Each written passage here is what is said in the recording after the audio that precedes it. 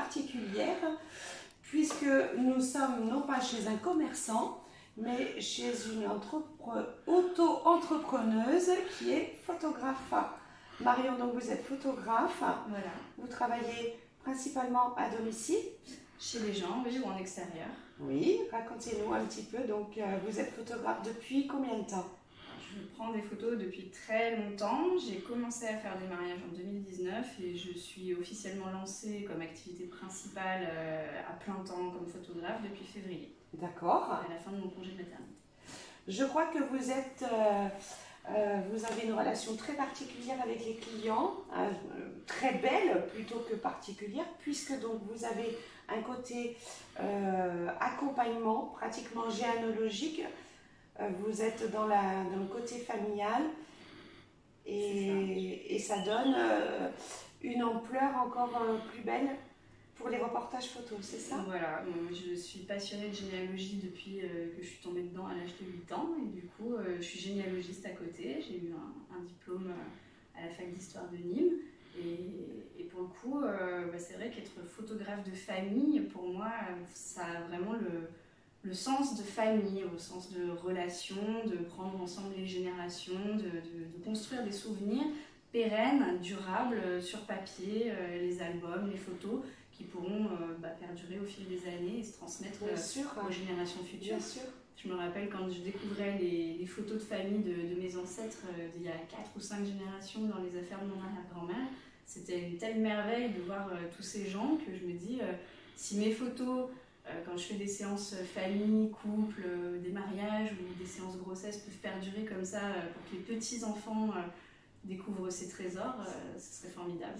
C'est un vrai, oui, c'est ça, c'est un vrai trésor. Donc on peut vous demander donc euh, de faire des photos soit en studio, soit en extérieur. Je fais pas de studio pour l'instant. Pas de studio, d'accord.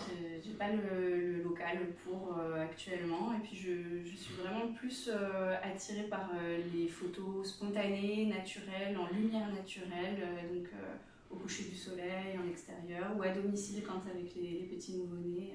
mais plus sur vraiment quelque chose de du, sur le vif de la vie quotidienne.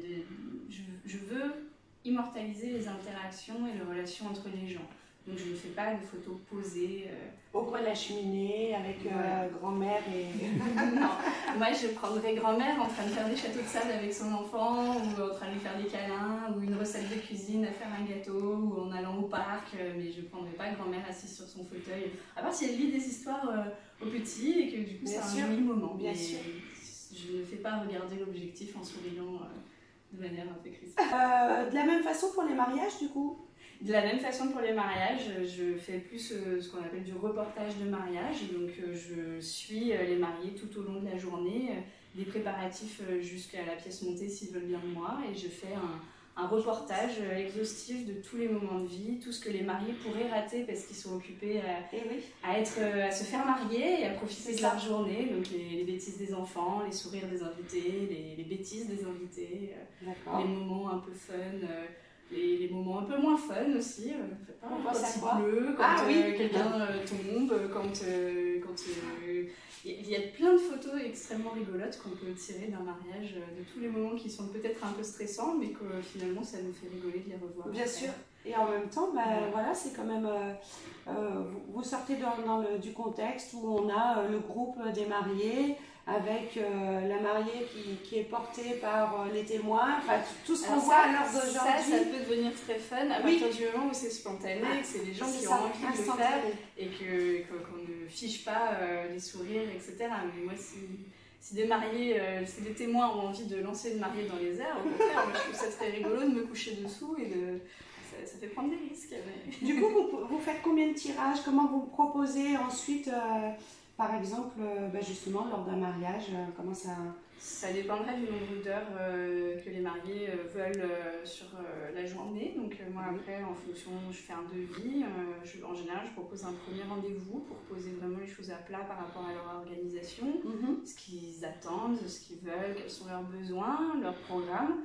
Et en fonction du programme, on détermine un nombre d'heures qui du coup euh, collent euh, ou pas aux formules que je propose. Et puis ben, les formules, après, elles s'adaptent. D'accord. Moi, j'essaye de vraiment euh, ce côté patrimoine familial de dans chacune des formules, j'inclus un support papier, que ce soit des tirages ou un album.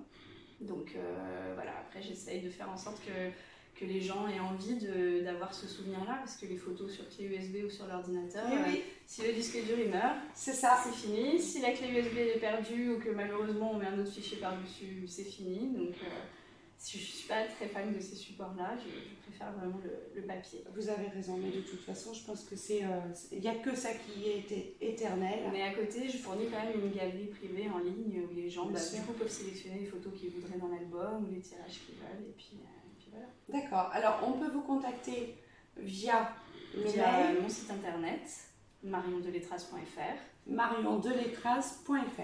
du coup il y a un espace de réservation en ligne pour les séances, Oui. famille, couple, naissance, euh, grossesse. Mhm. Euh, on peut me contacter par téléphone Oui. au 06 23 65 01 05, mais il est indiqué sur le site. On peut m'écrire par mail, D'accord. Euh, c'est pareil, c'est sur le site, euh, marion.deletras.gmail.com. Et vous êtes aussi sur Facebook Facebook et Instagram. et Insta. Voilà. Donc, on peut voir un petit peu euh, toutes les photos que vous, que vous proposez, qui ont été faites. Tout à fait. Et donc, euh, on a oublié peut-être de, de dire que vous étiez sur Soliespont. Exactement. Voilà. Et vous vous déplacez d'où à où? Alors, euh, j'ai deux secteurs de prédilection. Euh, la Savoie autour d'Annecy, puisque c'est mes origines et que j'ai encore toute ma famille. Donc, euh, je travaille beaucoup là-bas.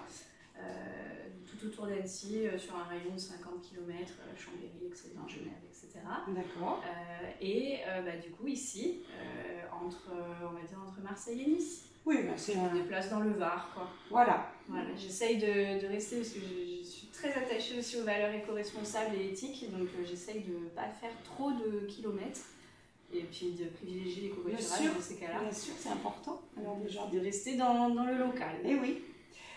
Eh bien, merci beaucoup. On vous retrouve donc euh, sur YouTube, sur euh, Facebook, sur votre site.